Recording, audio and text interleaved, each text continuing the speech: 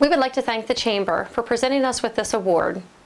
We'd like to thank our families, our friends, our employees, and our customers who have enabled us to grow to this level. In 2010, we purchased the business and we brought two part-time employees. Today we have 35 employees, 18 full-time and 17 part-time. We opened our second location in Altoona in 2016 and in 2017 broke ground at our new warehouse property. We moved into our new facility August 1st of this year. We've also added a new website and a fundraising program. This year alone, we have donated over $150,000 back to our local communities. And we are excited to be adding Rita's Italian Ice to both store locations in the spring of 2019. Thank you again to all of you for your support in presenting us with this award. Thanks again.